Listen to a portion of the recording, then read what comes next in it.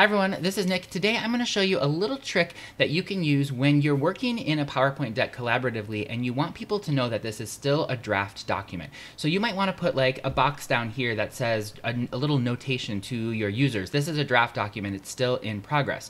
Now you could just do this by inserting a rectangle and putting some text in it like this, draft report, on any of your slides here in normal view. You can see I can move it around right there. But the thing is, you're going to have to copy this on onto every single slide in your report if you want to do that. And the other thing is that anyone who opens your slide deck will be able to move that box around. They will be able to delete that box, and we don't necessarily want them to delete, delete that box. So if they're not quite as much of a savvy PowerPoint user as you, this is the way to do it. Head over to the slide master. So first you're going to hit the, the view tab, and then we're going to, under master views here, you'll select slide master. Now the slide master is where everything in your everything in your PowerPoint deck in uh, normal view sort of pulls from. So the slide master is where you have the slide layouts with different placeholders for text and things like that.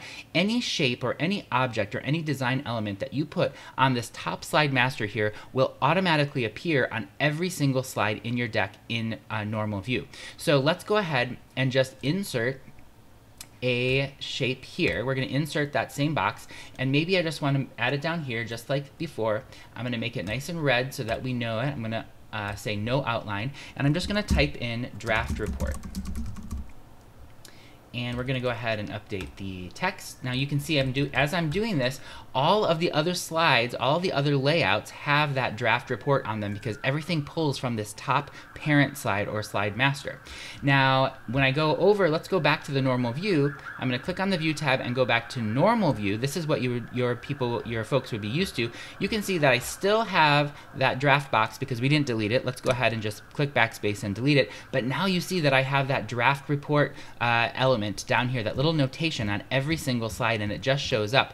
And when I click on it, I can't do anything with it. I can't move it. So if your if your uh, users, your other collaborators in PowerPoint aren't quite as savvy as you, they don't know about the Slide Master, go ahead and do this. They won't uh, realize that they can't really do anything with that, and that's a nice way um, that you can do that. Now, there's another way that you could make this draft report. Let's go back to the View tab, to the Slide Master, and then I'm going to go ahead up to that Slide Master tab right here and I'm going to click on that box to delete it. We don't want it.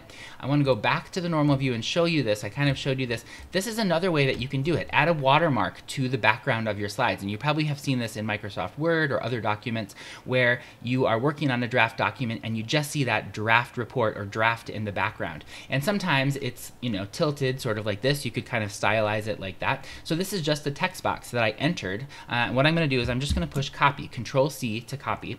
And let's go back to the slide master and now let's put this on every single slide in the deck. This nice draft watermark. Control V to paste.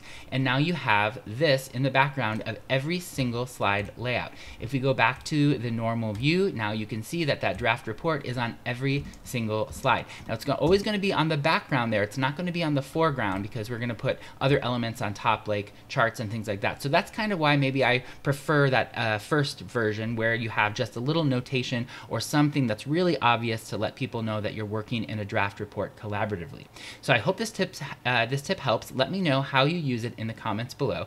If you like this video, give it a thumbs up and make sure to hit the subscribe button and the bell next to it. You'll get notified every time I post a new video in data design, usually PowerPoint, Excel, or Word.